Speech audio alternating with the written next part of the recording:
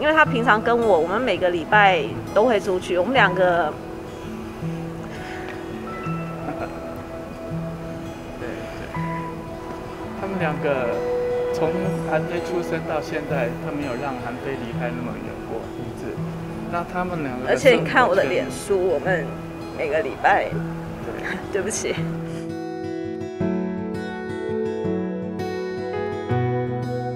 年轻的女孩就该让一让的，让男人决定跟谁远走高飞。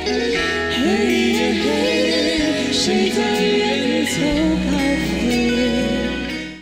家有女初长成，王中平 and 于浩然的十八岁女儿韩飞，二十号搭乘长荣班机前往加拿大就读多伦多大学人文学科。这送机啊有洋葱。我看你行李其实不多哎。哦，但蛮重的。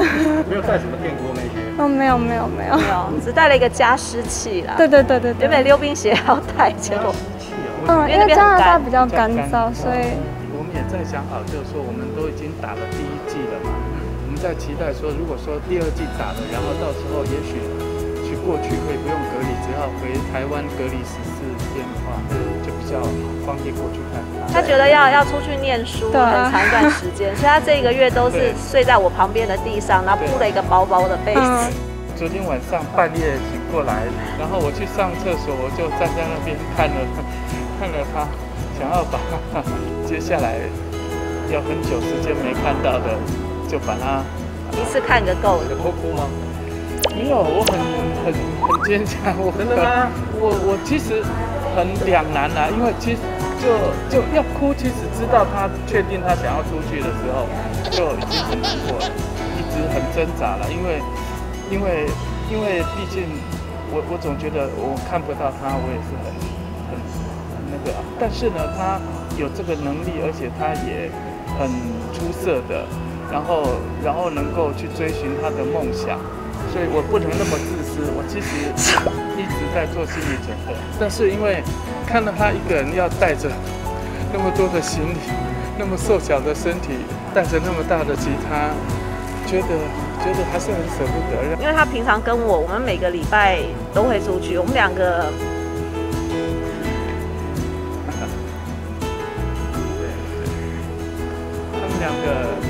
从韩飞出生到现在，他没有让韩飞离开那么远过。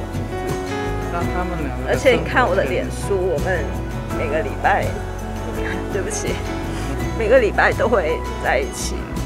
然后我就跟他说。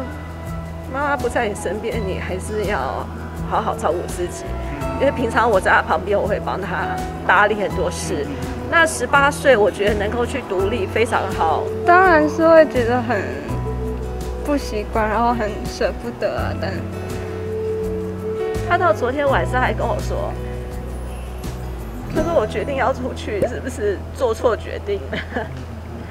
我说你不用想那么多，我反而比较平常心，因为我觉得就是他也十八岁出去，又不是说去好几十年，就是这些半年就可以回来嘛，对不对？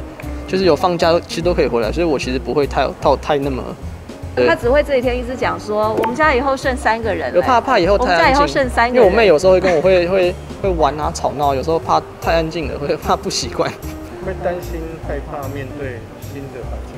呃，担心是会有啊，但是我觉得凡事就尽力嘛，然后乐观一点。因为我自己很喜欢音乐嘛，所以我希望可以多结交一些，呃，也喜欢音乐的朋友，然后可以一起，到时候可以一起玩音乐啊，一起合作这样子。那你们两个有没有跟他有提面命什么事情？没交男友？他目前为止是还没交过啊，但妈妈妈妈比较开明，妈妈说出去外面可以多交一些朋友，多交朋友。多交朋友，然后有不错的话，一定要先给我看照片，我来帮你分析一下这个人好不好？你不要鼓吹他。我二十六岁，我现在没有办法接受。